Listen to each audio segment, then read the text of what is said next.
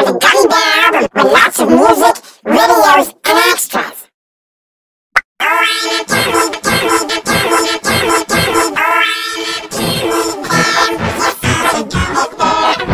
Oh,